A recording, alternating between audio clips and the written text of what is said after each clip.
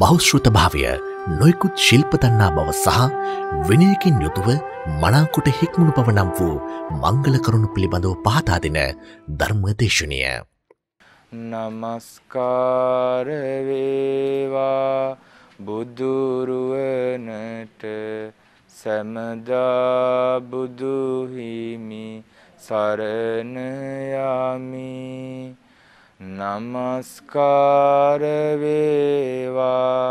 දම්රුවනට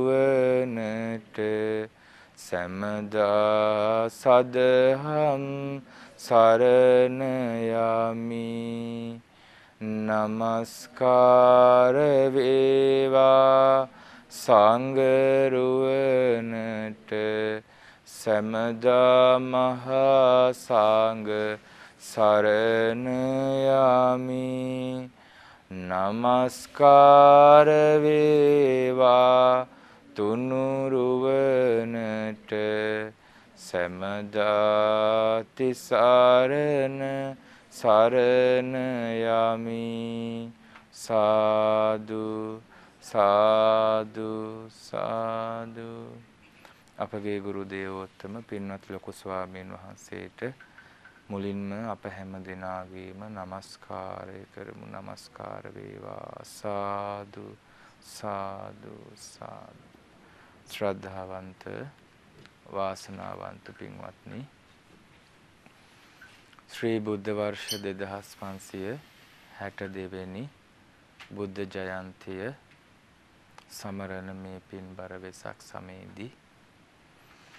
වෙසක් පොහොය නිමිති කරගෙනම විශේෂයෙන් පවත්වන දේශනා මාලාවේ උතුම් ධර්ම දේශනාවකට අද සම්බන්ධ වෙන්නේ මේ පින්වතුන්. අපි මේ වෙසක් දේශනා මාලාවේදී ඉගෙන ගන්නේ ජීවිතයට යහපත පිණිස පවතින කරුණු ගැන. අපි ජීවිතය කියලා කතා කරද්දී මේ ජීවිතයයි පරලොව ජීවිතයයි දෙකම සලකනවා. නේද? මේ ජීවිතේ හොඳට සැපසේ ඉඳලා මරුණට පස්සේ දුගතිය යනවා නම් වැඩක්ද? කියන්න බලන්න. වැඩක් නෑ නේද? ඒකට මේ ජීවිතේ සැපසේ ඉඳලා මරුණට පස්සෙත් හොඳ තැනක යන්නේ නැත්නම් ඒක තමයි බුද්ධිමත් මිනිසෙක්ගේ ප්‍රාර්ථනාව. ඊට පස්සේ ඉක්මනින්ම දුකෙනුත් මිදහස් වෙන්නේ නැත්නම් සියලු දුක් ගෙවලා දාලා ඉපදෙන්නේ නැති ජරාවටපත් වෙන්නේ නැති මැරෙන්නේ නැති අමා මහ නිවන අවබෝධ කරන්නේ නැත්නම් කියලා යම් කිසි ආසාවක් බලාපොරොත්තුවක් නුවණැති මිනිස්සෙකුට තියෙන්න ඕනේ. ඉතින් මේ උතුම් මංගල සූත්‍ර දේශනාව අපේ ජීවිතයට යහපත පිණිස පවතින කරුණු ඇතුළත් වෙන්නේ මොකේද? මංගල සූත්‍ර දේශනාවේ මංගල සූත්‍රය අහලා තියෙනව නේද? හැමෝම දන්නවා.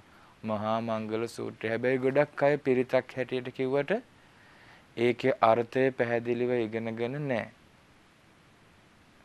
අර්ථය පැහැදිලිව ඉගෙනගෙන නැති නිසා අර්ථය පුරුදු කරන්නත් බෑ. දැන් මේ ධර්මය හොඳට ඉගෙන ගත්තොත් මතක තියාගත්තොත් තමයි පුරුදු කරන්න පුළුවන්කම ලැබෙන්නේ නේද?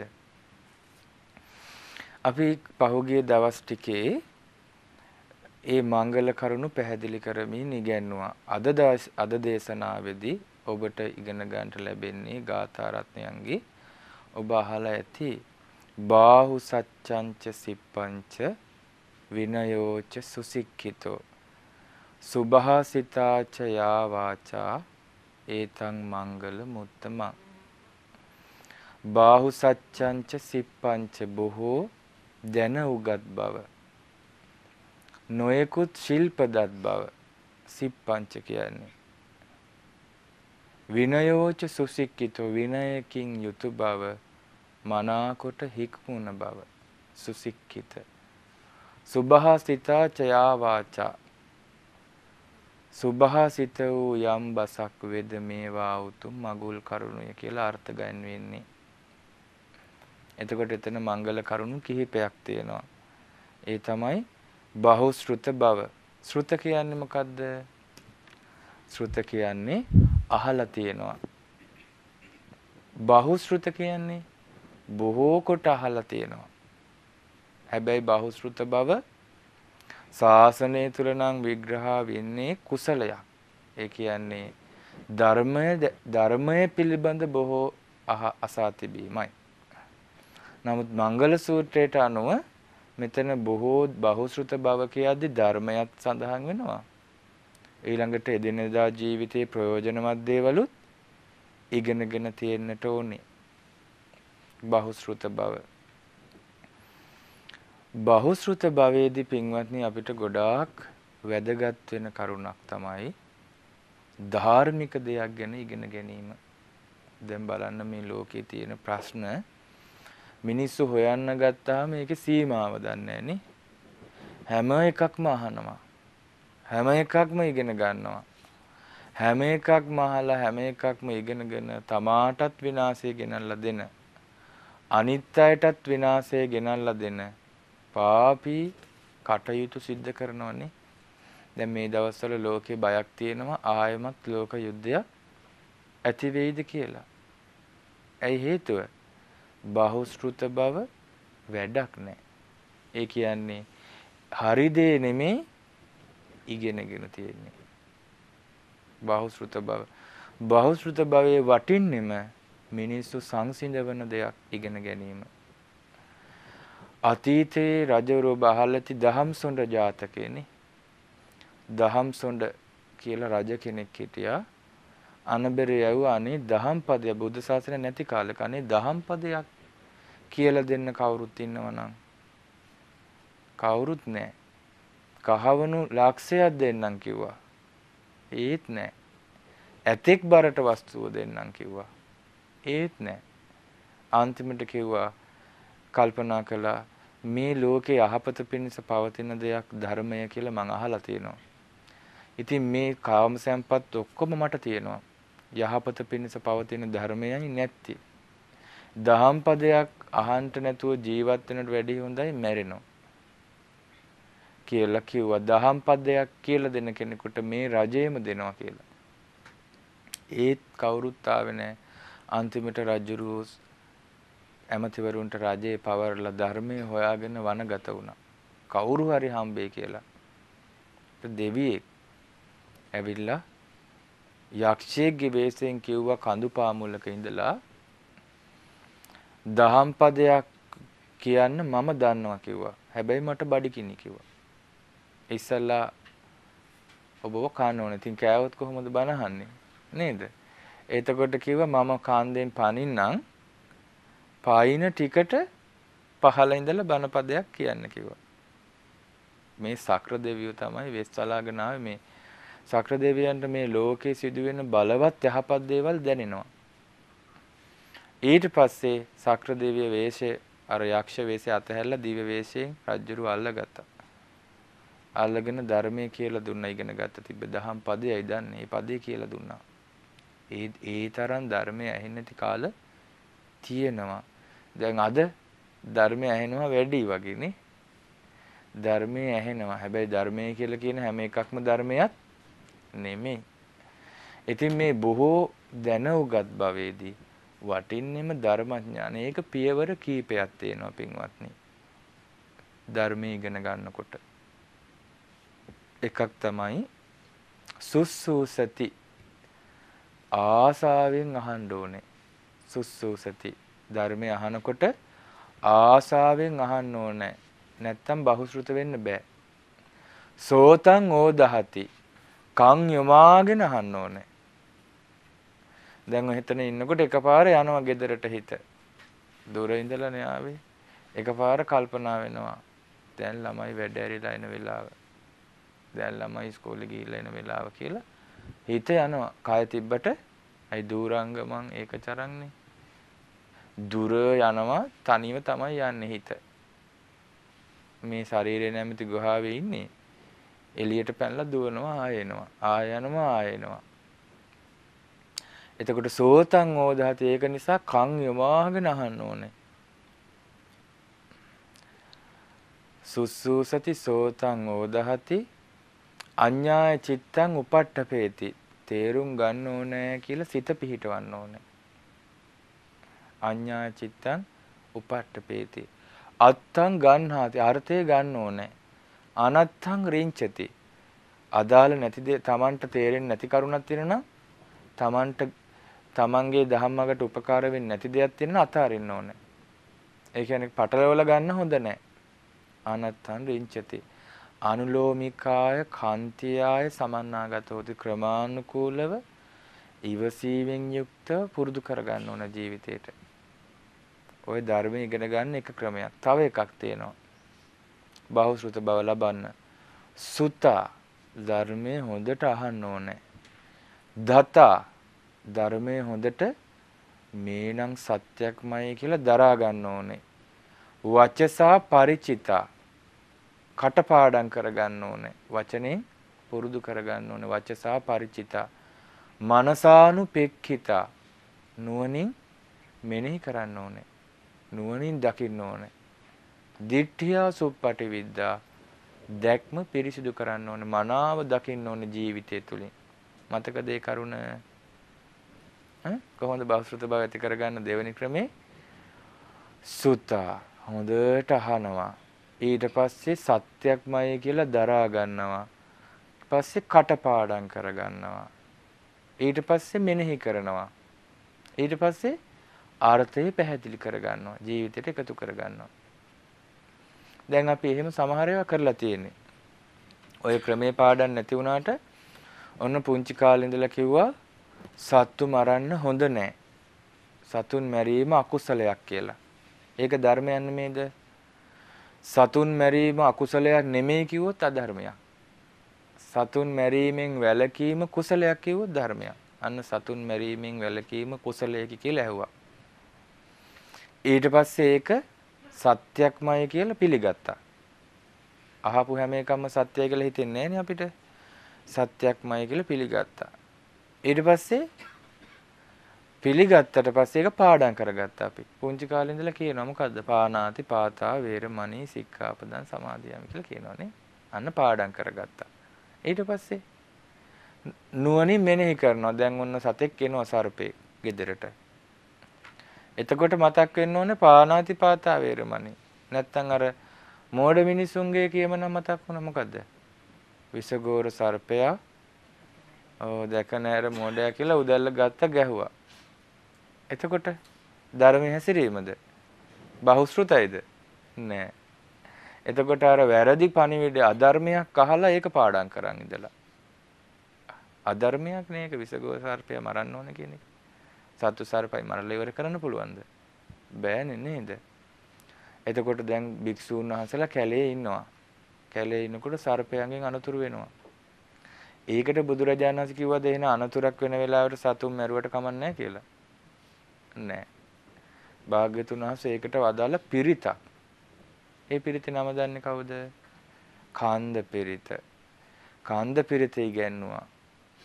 සර්පරාජ කුල හතරකට බෙදලා තිබ්බා ඒ කාලේ විරූපාක්ෂ ඒරාපත චබ්බ්‍යාපුත්ත කන්හා ගෞතමක කියලා. ඔය අද වෙන විදිහට විද්‍යානුකූලව බෙදන්නේ. ඔය ආත්‍රපෝඩ එක එක විදිහට බෙදනවනේ නේද? අන්න ඒ වගේ ඒ කාලේ බෙදලා තිබ්බා. ඒ සර්පරාජ කුල හතරටම මෙත් පතුරවනවා. විරූපාක්ෂ සර්පරාජ කුලයට මාගේ මෙසිත වේවා. ඒරාපත සර්ප කුලයට මෙසිත වේවා. චබ්බ්‍යාපුත්ත සර්ප කුලයට මාගේ මෙසිත වේවා. කන්හා ගෝතමක සර්ප කුලයට මාගේ මේ සිත වේවා කියලා තමයි කන්ද පිළිති තේරුම. මාමං අපාදකෝ හිංසි මාමං හිංසි දීපාදකෝ. පාද රහිත සත්වයක් මට හිංසා නොකරේවා. දෙපා සහිත සත්වයෝද හිංසා නොකරේවා. බහුපායති සත්වයෝද හිංසා නොකරේවා. පාද ඊළඟට සිව්පා සත්වයෝද හිංසා නොකරේවා. බොහෝ පාති සත්වයෝද හිංසා නොකරේවා. සබ්බේ සත්තා සබ්බේ පානා සබ්බේ භූතාච කේවලා සබ්බේ භද්‍රානි පස්සන්තු සියලුම සත්වෝ යහපත දකිත්වා කියලා මේ සිත පතරවනවා මාකංචි පාපමාග කිසිවෙක් වෙත නපුරක් නොපැමිණේවා කියලා මේ සිත පතරවනවා ඒ මෛත්‍රී බලයට ඒ දේශනාවේ තියෙනවා එක භික්ෂුවක් සර්පයෙක් දෂ්ට කරලා කලුරිය කළා. අපවත් වුණා. භාග්‍යතුන් වහන්සේ වදාළ ওই භික්ෂුව සර්පයන්ට මෙත් පැතිරෙන්නේ නැහනේ. නපුරු හිතෙන් හිටියේ. සර්පයන්ට මෙසිත පැතිරෙව්වා නම් මේ සර්පයෙක් දෂ්ට කරලා කලුරිය කරන්නේ නැහැ. සර්පයන්ට මෙසිත පැතිරෙව්වා නම් ඒ නිසා මේ කන්ද පිරිත හොඳට ඉගෙන ගන්න කිව්වා. පාඩම් කරගෙන පුරුදු කරන්න කිව්වා. දැන් අපි ආරණ්‍ය වල අසපුල ඉන්නකොට හැමදාම උදේ හවස කන්ද පිරිත කියනවා. ඒ නිසා අපිට ආරංචි වෙලා නැහැ එහෙම.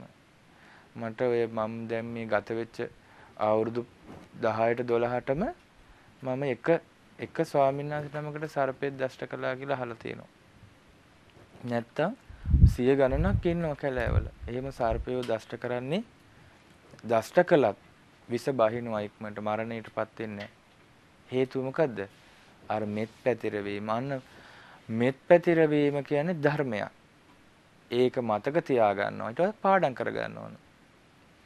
ඔය පිරිත් කියන ක්‍රමය ඇවිල්ලා තියෙන්නේ භික්ෂූන් පාඩම් කරගන්න සජ්ජායනා කරන්නේ.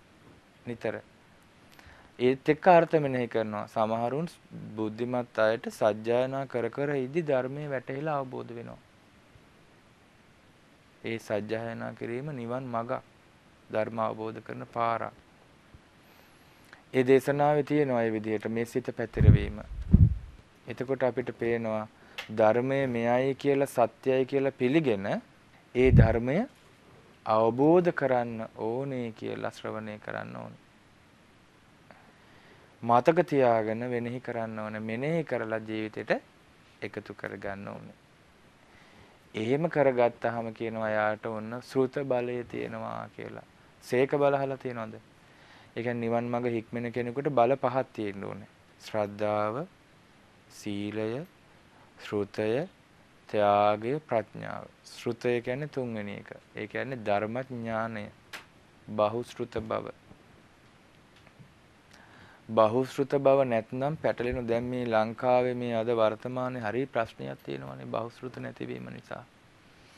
දැන් ගිහිපින් උපාසක උපාසිකාව බහුශ්‍රුත නැහැ. බහුශ්‍රුත නැති නිසා හාමුදුරුවෝ එක එක ඒවා කියනවා පිළිගන්න වෙනවා. අයි ධර්මඥානෙ නැහැ. මේ එකපාර පැවිදි වෙනවා. ටික දවසකින් මෙන්න එයාට හිතිච්ච එකක් කියනවා. මේකයි ධර්මයේ මේකයි විනය කියලා එයා කියනවා. මිනිස්සු පිළිගන්නේ ඇයි? බහුශ්‍රුත නැ යන්න බහුශ්‍රුත වුණා නම් මංගල කරුණ මංගල කරුණක් නැතිකම මිනිස්සු නම් තව කමන්නේ කියමු ගිහි අය සමහර භික්ෂුණුත් රැවටෙනවා ඔන්න එක භික්ෂුවක් කියනවා මම අවබෝධ කළා මම රහත් වුණා මල් ළඟට එන්න කියලා කියනවා එතකොට තව භික්ෂුවක් ගිහිල්ලා ඔව් එයා රහත් තමයි මටත් තේරුණා කියලා කියනවා එතකොට නමුත් රහතන් වහන්සේ තුල දකින්න ලැබෙන ගතිගුණ නැහැ. දැන් කලාතුරකින් බුද්ධ ශාසනයේ ඉතිහාසෙම අවස්ථාවක දෙකක තියෙනවා ගොරෝසු පැවතුම් ඇති රහතුන් ඉඳලා තියෙනවා. ඒකට හේතුව තමයි සසර පුරුදු. හැබැයි ඒ අය ගිහි කාලේ ඉඳලා මේ විදිය. දැන් අර පිළිඳිවච්ච මහරහතන් වහන්සේ කලින් ගොඩක් ජීවිතවල එක දිගට බ්‍රාහ්මණයෝ වෙලා වැඩ අරගෙන සේවකයන්ගෙන් ඒ පුරුද්දට ගිහි කාලේ ඉඳලම කතා කරන්නේ වසලෙව මෙහෙවර කියලා කතා කරන්නේ. පැවිදි වුණාට පස්සෙත් කියන්නේ වසලෙව මෙහෙවර කියනවා. හැබැයි තරහ නෑ හිතේ. රහත් වුණාමත් කියනවා. එතකොට සමහර භික්ෂූන් චෝදනා කළා මේ උන්වහන්සේ රහත් නෑ කියලා. නමුත් එයාගේ ගිහි කාලේ ඉඳලා තිබ්බ ලක්ෂණයක්. නමුත් දැන් ලංකාවේ සමහරු හොඳට ඉඳලා පස්සේ එකපාර වෙනස් වෙනවා. එතකොට ඒක සසර පුරුද්දක්ද? නෑ. ඒක හිතින් හදාගෙන නිකන් වෙනම එකක් හැටියට පෙන්නනවා. දැන් තේරුණාද වෙනස? සසර පුරුද්දක් නෙමෙයි කියලා. ආන්න ඒ රවට්ටන්න කරන දෙයක්. ඉතින් ඒකට ධර්මඥානෙ නැති ගිහි කෙනෙක් අහු වෙනවා. ධර්මඥානය හරියට නැති පැවිද්දොත් අහු වෙනවා. බාහුශ්‍රුත නැති භවයේ විපාක. බණ කිව්වත් බාහුශ්‍රුත වෙන්න බෑ. බාහුශ්‍රුත වෙන්න නම් තියෙන්න ඕන සුතා දතා වචසා ಪರಿචිතා මනසානුපෙක්කිතා දිට්ඨිය අසුප් අර්ථ හොඳට පැහැදිලි කරන දිට්ඨිය අසුප්පට විද්දා තියෙන්න ඕනනේ ඒවා නැත්නම් මංගල කරුණක් නැහැ ජීවිතේට ඉතින් අයහපත උදා වෙනවා මේ මංගල කරුණ මේ බහුශෘත භවෙන් මෙලවත් යහපත පිණිස පවතිනවා පරලවත් යහපත පිණිස පවතිනවා නිවන පිණිසත් ඒකයි මේව නියම මංගල කරුණු පින්වත්නි දැන් පළවෙනි එක මොකද්ද? අසේවනාච බාලානන්නේ බාලව ඇසුරු කරන්න එපා පව්කාරයෝ. කල්යාණ මිත්‍ර ඇසුරු කරන්න කියනවා. ඒ කරුණු දෙකෙන් මුළු යහපතම උදා වෙනවනේ. පිදිය යුත්තෝ පුදන්න කියන. පිදිය යුත්තන් පුදපුවාම පින් රැස් වෙනවනේ. දැන් තියෙන අභිවාදන සීලිස්ස දැන් පුරුදු වෙන්නේ ඉස්සර අම්මලා දැන් අසනීප තියන අය නෙමෙයි. වන්දනා කරගන්න කියපුවාම හොඳට පසඟ පිහිටවල වඳිනවනේ. පසඟ පිහිටවල වඳිනවා කියන්නේ දනිස් දෙකයි වැලමිටි දෙකයි බිම ගෑවෙන්න නලල බිම තියලා වඳිනවා. ඒක තමයි සාමාන්‍ය ක්‍රමේ වඳින ප්‍රධාන ක්‍රමයක් පසඟ පිහිටවල වන්දනා කරනවා. නේද? පරණ අපේ අම්මලා තාත්තලා කරනවා. නමුත් දැන් තරුණ ළමයිට ඒක කියලා දීලා නැහැ. ඒ ළමයි වඳින්නේ දැන් මගුල් ගයක් කියනවා වගේ. නේද? ඇයි අර සාමාන්‍ය ප්‍රතිපදාවක්වත් යන්නේ නැහැ પરම්පරාවෙන් પરම්පරාවට. හරියට ඔපිදිය යුත්තන් පිදීමේ විපාක දන්නේ නැති නිසා. දැන් පිදිය යුත්තන් පිදීමේ විපාක මොනවද? අභිවාදන සීලිස්ස ගාථාවේ තියෙන ආර්ථේ. ඒ අර්ථය සිහිපත් කරන්නේ බුද්ධ දේශනාවකේ.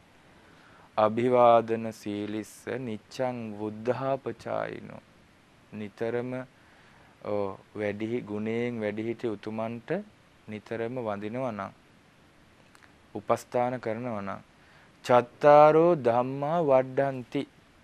කරුණු හතරක් වැඩි. ආයු වන්නෝ සුඛම් බලං.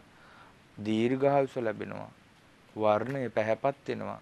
සැපේ ලැබෙනවා. බලය ලැබෙනවා.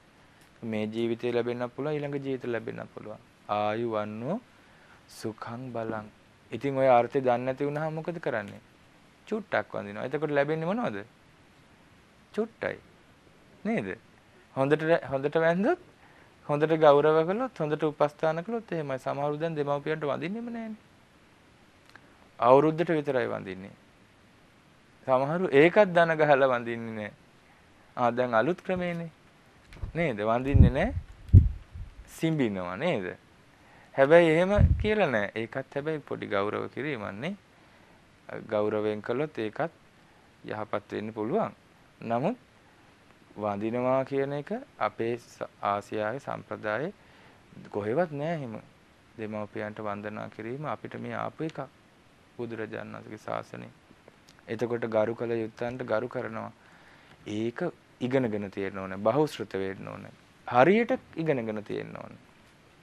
එතකොට දෙමව්පියව හරියට බහුශෘත වුණා නම් දරුවන්ට ඒ බහුශෘත බව නිකාම යනවද නැද්ද? යනවා බහුශෘත වීමේ වටිනාකම මේ ලංකාවේ පරණ රජවරු හරියට සලකලා තිනවා බහුශෘතයට දැන් දුටුගැමුණු රජුරුව දවසක් බණ කියන්න ආස කළා ලෝවා මහා ප්‍රාසාදේ.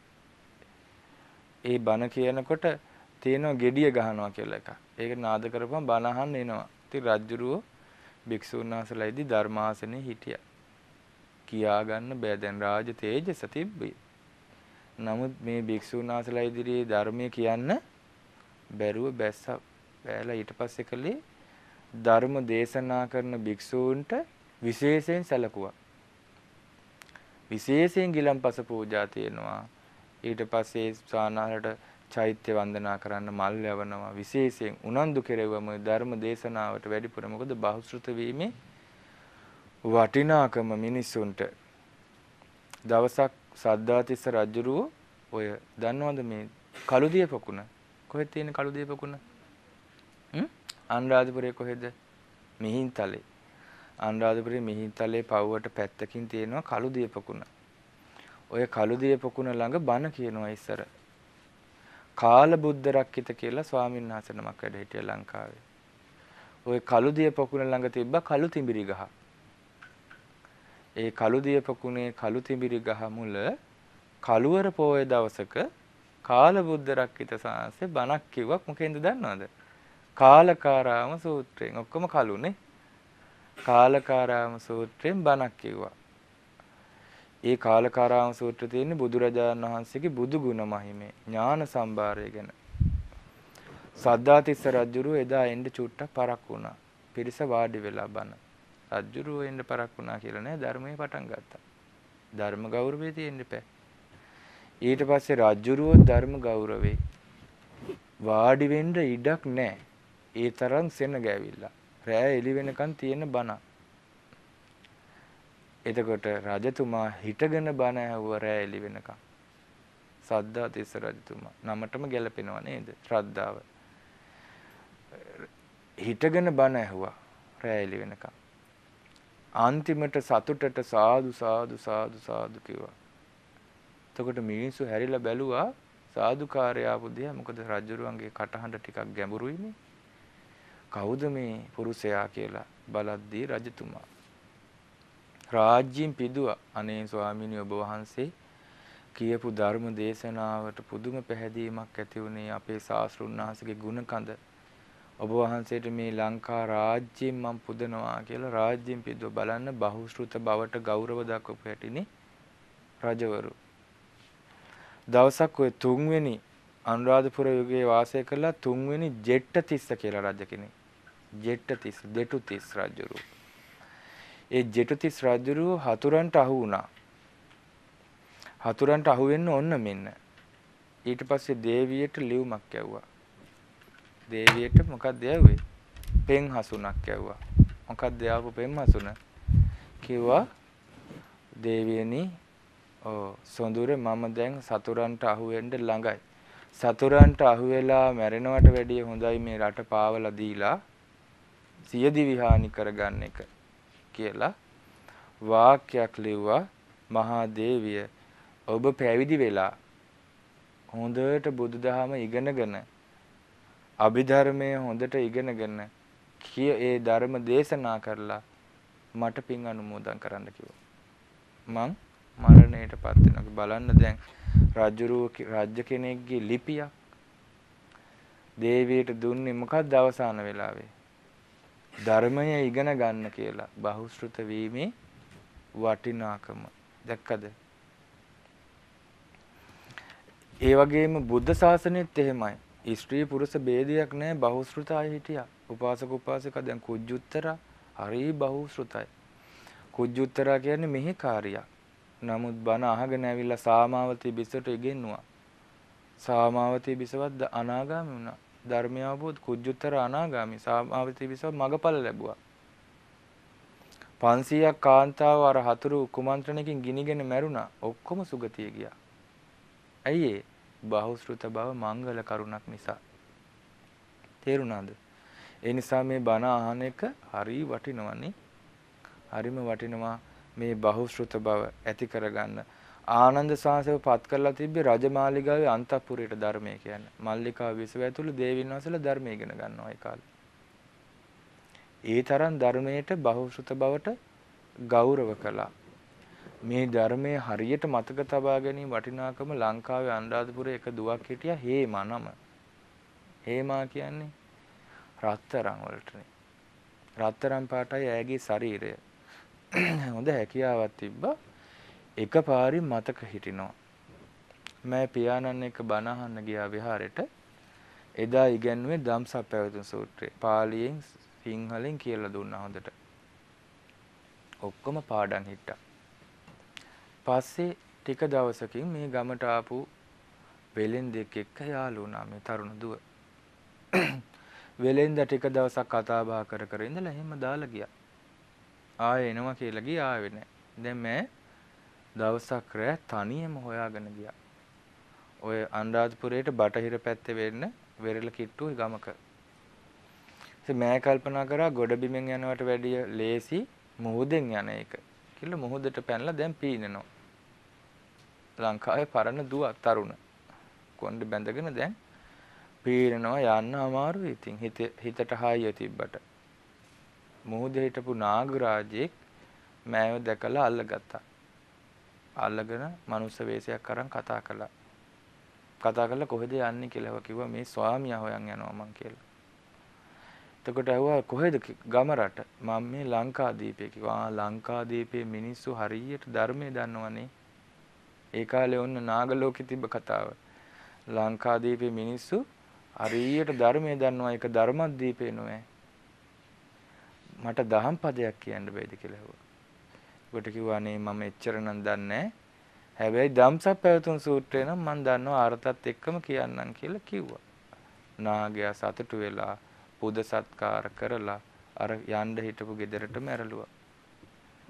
දැන් බලන්න සත්පුරුෂයෝ තමයි මේ ධර්මඥාණයට බහුශෘත බවට ගෞරව කරන්නේ. ඒ නිසා මේ බාහු සච්ඡංච බහුශෘත බව උතුම් මංගල කරුණා.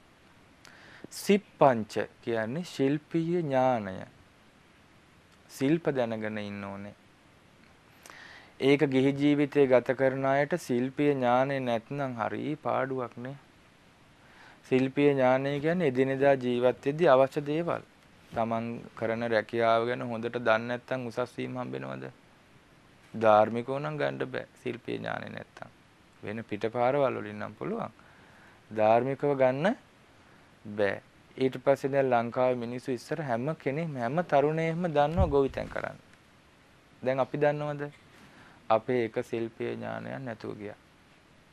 පිරිහෙනවා. නේද? දැන් සමහර සමහර තරුණ අය ඉන්නවා එයාට ටක් ගාලා වැඩක් අල්ල ගන්න පුළුවන්. බටයක් කැඩුණොත් එයා හදනවා. ලයිට් නැත්තම් බලලා හදනවා. කැසට් එකක් ටීවී එකක් කරනොත් හදනවා. ශිල්පීය ඥානෙ තියෙනවා. සමහරව ඉන්නවා ශිල්පීය ඥානෙ නැහැ. පොඩ්ඩක් කැරිනොත් කෝල් එකක් දීලා ඉතින් කවුරු හරි එනකන් ඉන්න ඕනේ. ඒක අයහපතක් නෙමෙයිද? බොරුවට මුදල් වේදන් වෙනවා. සමහර කාන්තාවයි ඉන්නවා පිරිමින්ට වැඩි දන්නවා. ශිල්පීය ඥානෙ. ඒ නිසා පිරිමියා හිටියෙත් නැතත් හොඳට ජීවත් වෙන්න පුළුවන්. ශිල්පීය ඥානෙ වටිනාකම. දැන් දරුව දරුවෝ ඉන්නවා ටක් ගාලා එයා පාඩම් කරගන්න දන්නවා එක එක ශිල්ප. ඒ ශිල්පීය ඥානය පාවිච්චි කරනවා. දැන් නම් කැම බීමක් හදාගන්න දැන් ලංකාවේ પરම්පරාවෙන් ඉන්න කැම බීම ටිකත් දැන් කොහෙන්ද ගන්නෙ? කඩෙන්. අන්න ශිල්පීය ඥානයේ මංගල කරුණක් කියලා දැනන් හිටියේ නෑ. ඒක පාඩම් කරන්න අදහගෙන හිටියනම් අම්මලා කැවුම් යන්න දන්නවා දූලා දන්නේ නෑ. දැන් නම් අම්මලා දන්නේ නැහැ ආච්චිලා අපේ ආච්චිලා නම් හැදුවා කියනවා කොණ්ඩ කැවුම්. අපි නම් දන්නේ නෑ. දැන් කොණ්ඩ කැවුම් තියෙනවා නෑ කොණ්ඩේ නෑ. නේද? හදන්න උත්සාහ කරලා. ඇයි ශිල්පීය ඥානෙ හරියට ඇවිල්ලා නෑ. ඉතින් ඒක අලාභයක් නෙමෙයිද? අලා වෙන රටවල් වල පින්වත්නි ඒ රටේ පාරම්පරිකව එන කෑම ඒ විදිහටම හදනවා හැබැයි පැක් එක විතරයි වෙනස්. ඒක ලස්සනට වටින්න හදනවා. දැන් අපේ රටේ පරණ කේක් හදන්න දන්නවා. ඔයිල් කේක් හදන්න දන්නේ නැහැ. නේද? ඒ නිසා ශිල්පීය ඥානය පරම්පරාවෙන් පරම්පරාවට යන්නේ. ඒක જાතියක් හැටියට අසාර්ථකයි. ඉස්සර ලංකාවේ මිනිස්සු රෙදි වියාගත්තා. වලම්පිඟන් හදාගත්තා නේද? කෑම බීම වත්තේ පිටියෙන් හොයාගත්තා. දැන් නැව් ආවේ නැත්තම් කාලා ඉවරයි. නේද? ඇයි පිටි නැහනේ. පාම් පිටි නැති වෙච්ච ගමන් ඉතින් ෂෝටිස් නැහැ. ඊට පස්සේ බඩගිනි තමයි ඉන්න වෙන්නේ. ශිල්පීය ඥානෙ නැති බවේ විපාක. ඒ නිසා ශිල්පීය ඥානය කියන්නේ අපේ ජීවිතේ විශාල වටිනාකමක් තියෙන දහම් කරුණක්. මංගල කරුණක්. මේ බුදුරජාණන් වහන්සේගේ ධම්මපදයේ කතාවක තියෙනවා පරණ මිනිසෙක් හිටියා. එයාගේ කකුල් දෙක නැහැ. හැබැයි එයා එක ශිල්පයක් ඉගෙන ගත්ත ඇඟිල්ලට ගලක් තියලා විදින්න පුළුවන් ඈතට. මෙයා ওই ලොකු කොළ තියෙන ගස් තියෙන්නේ. ඒ ගස්වල චූටි ගල් කැට වලින් විදලා අර කොලේ එක එක රට හදනවා. සත්තුන්ගේ රූප කොටනවා. ගහ මුල ඉන්නේ. නුග ගස් තියෙනවා ලොකු කොළ තියෙන. මෙයා ගහ මුල ඉඳලා චූටි චූටි ගල් වලින් විදලා ලස්සන රටාව ළමයි හරි ආසයි බලන්න ඉතින් මෙයා වට කරන් මෙයාට එක එක ගෙනත් දෙනවා. මෙයාගේ ශිල්පීය ඥාණයෙන් මෙයා සැපසේ ඉන්නවා. රාජ්‍යරුව දවසක් දැක්කා මේක එක්කන් ගියා පොඩි වැඩක් තියෙනවා එන්නකෝ යන්න කියලා. මොකද මොකද්ද දේවයන් වහන්සේ කියලා. අනේ මේ මගේ පුරোহিතයාගේ කට වැඩි කිව්වා. පොඩ්ඩක් අඩු කරලා දෙන්න කිව්වා පුරোহিතයාගේ කට. මොකද්ද කරන්න ඕනේ කියලා. ඔබ මේ තිරේ එහා පැත්තේ ඉන්න කිව්වා. මං සිදුරක් හදන්නම්.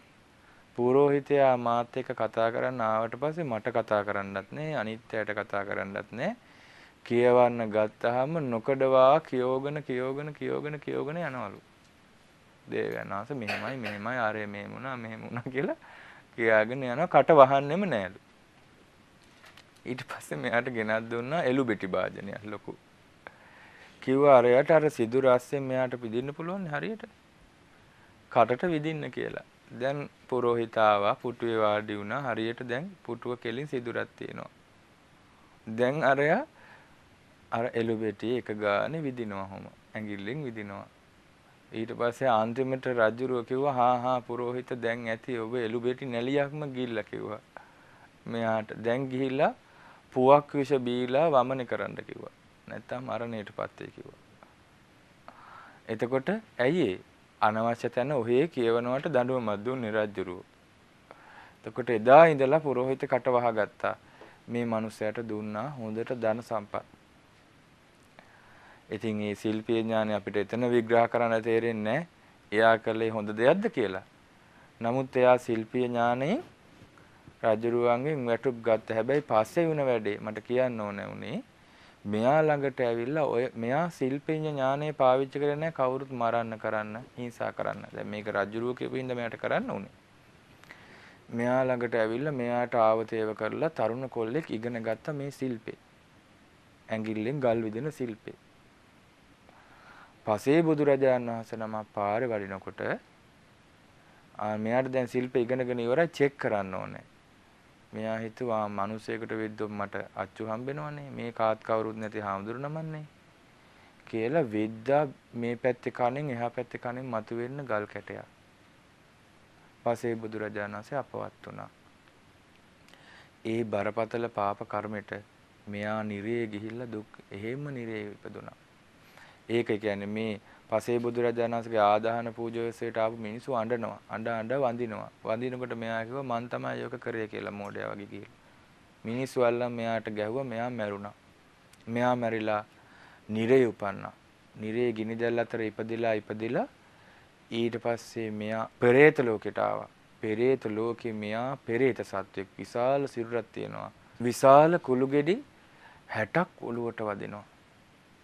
අර පෙරේතයා කෑ ගහනවා විලාප දෙනවා මුගලන් මහරහතන් වහන්සේ දැක්ක අයරදී බුදුරජාණන් වහන්සේ වදාළ මානිනි මමත් කලින් ওই සත්‍යව දැක්ක ඔය කලින් ජීවිතේ මෙන්න මේ පව කරපු කෙනා. ඇයි හේතුව? අර පසේ බුදුරජාණන් වහන්සේ නමකට ගල දැන් අන්න දැක්කද ශිල්පීය ඥානය වරද්ද ගත්තා. ඒ නිසාම බුදුරජාණන් වහන්සේ ඉස්සරහට පාවිච්චි කරා මොකද්ද? බාහු සච්ඡංච සිප්පංච විනයෝච සුසික්කිතෝ විනයකින් හික්මිලා ඉන්න ඕනේ. බහුශෘත බව වැඩන්නේ විනයකින් හික්මිලා නැත්තම්.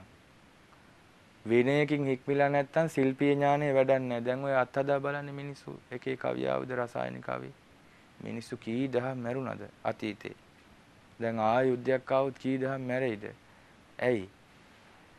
විනයකින් යුතු නැහැ ශිල්පීය ඥානය.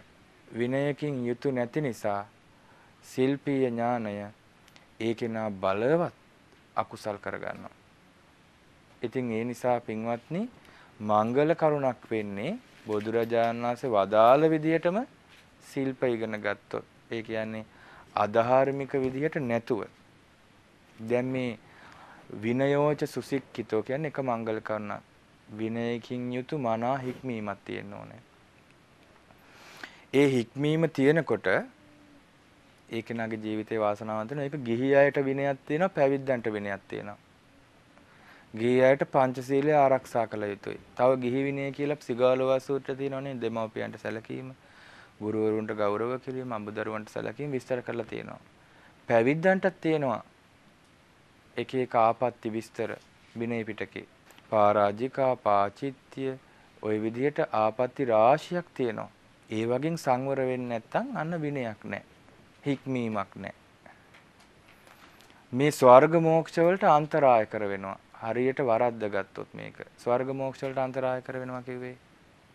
සුගතිය යන්න බෑ. මෝක්ෂය කියන්නේ නිවන් අවබෝධ කරන්න බෑ හරියට විනය තිබ්බේ නැත්තම්. දැන් ඔන්න කර්ම අපි හිතමු විනයක් නැතුව කර්ම රැස් කරගන්න ආනන්තරීය කර්ම. අම්මා මරනවා තාත්තා මරනවා. දැන් හිතන්න අපිට හිතෙනවා නේද අපි අතින් නම් මව මැරෙන්නේ නැහැ කියලා. නමුත් සෝවාන් නොවන තාක්කල් නිවන් මාර්ගට නොවන තාක්කල් ඒ පාපේ පෘථග්ජනයාතින් වෙන්න පුළුවන්ද බැයිද? අපි හිතමු දෙමව්පියෝ පුදුම විදියට තව සහෝදරයෙකුට සාධාරණ විදියට කරනවා අනිත් කෙනාට අසාධාරණකම් කරනවා. අසාධාරණ කරලා කරලා කරලා Tamanට නොකර වැරදි වලට චෝදනා කළා. ওই විදිහේ මහා අසාධාරණ එතකොට එයාට එයාට අර කෙලෙහි ගුණ ඔක්කොම අමතක වෙන්න බෑයිද? ඒ හේතු මුල් කරගෙන. සමහරට මල්ලා දාන්න පුළුවන්. එක්ක බිරිඳගේ කීමට එක්ක ස්වාමියා කීම අතීතේ එහෙම විස්තර තියෙනවා. කල්පයක් නිරේ යන්න වෙනවා. ඇයි හේතුව විනයක් නැතිකමෙන්. ඊළඟට සමගි සංගයා ભેද කරනවා. රහතුන්ගේ ජීවිත නැති කරන පංචාතනික කර්ම දන්නවනේ ආනන්තරීය පාප කර්ම පහ. මව මැරීම, පියා මැරීම, සංඝ ભેදේ, රහතුන් මරණයටපත් කිරීම, ඊට පස්සේ බුදුරජාණන් වහන්සේගේ ලේසල වීම කියන කරුණු පහ. ඒවා බරපතල අන්තරාය කර ධර්මයන්, කර්මය. ඊට පස්සේ ක්ලේශ අන්තරාය කර ධර්මයන් තියෙනවා. සමහරු ඉන්නවා උච්ඡේද දෘෂ්ටි, නාස්තික දෘෂ්ටිය කියලා කියන්නේ. මරණින් මතු උපතක් පිළිගන්නේ නැහැ. කර්මයන්ගේ විපාක පිළිගන්නේ නැහැ. නාස්තික දෘෂ්ටිය. ඒවා බරපතල පාප කර්ම. අහේතුක දෘෂ්ටි තියෙනවා. හේතුඵල ධමයක් විස්තර කරන සත්‍යෝ ඉබේ පිළිසිදු වෙනවා, ඉබේ කිල්ටු වෙනවා කියනවා. ඊට පස්සේ අකිරිය දෘෂ්ටිය තියෙනවා. ඔය ක්‍රියාවල විපාක නැහැ කියනවා. පින්කම් පව්කම් කියලා දෙයක් නැහැ කියලා. ඒ ඔක්කොගෙම ජීවිතේ වහගන්නවා ආය හදාගන්න බැරි වෙන්නම. අන්තරාය කරයි ජීවිතේට. අන්න මනාකොට හික්මිලා නැති වුනහම ඒ විදිය අන්තරාය කර කෙලෙසයන්ට අහු වෙන්න පුළුවන්. ඊළඟට විපාක විදිහටම ලැබෙනවා අන්තරාය කර ධර්මයන්. දැන් සමහරු උපතින්ම නපුංසකයි. කුමන්ද බුද්ධික. ඒගොල්ලන්ට ධර්ම අවබෝධ කරන්න බෑ විපාක හැටියටම ලැබිලා. ඒ අන්තරාය කර ධර්ම මොකද? අර විනයකින් හික්මීමක් නැති වුනහම ඊළඟ ජීවිතවල වෙන දේවල්. ඊළඟට උපවාදානන්තරය කර්ම. ඒ කියන්නේ උපවාදාන කියන උපාදාන කියන මේ අන්තරාය කර ධර්ම තියෙනවා. උපවාද කියන අන්තරාය කර ධර්මය කියන්නේ පින්වත්නි මේ බුදුරජාණන් වහන්සේලාට උපවාද කරනවා. ආරි උපවාද. ධර්මයට උපවාද කරනවා. මේ කාලේ තියෙන හරියට උපවාද කරනවා. බුදුරජාණන් වහන්සේ ඉපදුනේ මෙහෙයි කියලා දඹදිවට ගරහනවා. බුද්ධ භූමියට. අහලා තියෙනව නේද එහෙම කියාගෙන යනවා දැන්. මිත්‍යා දෘෂ්ටි. ආරි උපවාද කරගන්නවා. ධර්මාශෝක අධිරාජ්‍යයට ගරහනවා. ඇයි එතුමා මෙහෙට ධර්මය එව්වේ? මිහිඳු මහරහතන් වහන්සේටත් ගරහයි තව ටික දවසකින්. මෙහෙම පාට පහළ වුණා කියයි මිහිඳු මහරහතන් වහන්සේ වෙන භික්ෂුවක් කියයි. නේද? දැන් ගෞරවයට කියනනේ අනුබුදු මිහිඳු මහරහතන් වහන්සේ ලංකාවට අනුබුදු කෙනෙක් වගේ කියලා. සමහරව ඒකටත් කැමති නැහැ. තමන්ගේ නමට තිබ්බනම් කැමති වෙනවනේ. ගරහනවා ආර්ය උපවාද කරගන්නවා. ඒ ආර්ය උපවාද කරගන්නවා දැන් අපි හිතමු සෝවාන් කියලා බොරුවට රඟපානවා. ඒකත් ඇත්තටම සෝවාන් මගපලලාභීන්ට කරන අගෞරවයන්නේ නේද? ආර්ය උපවාද කරගන්නවා.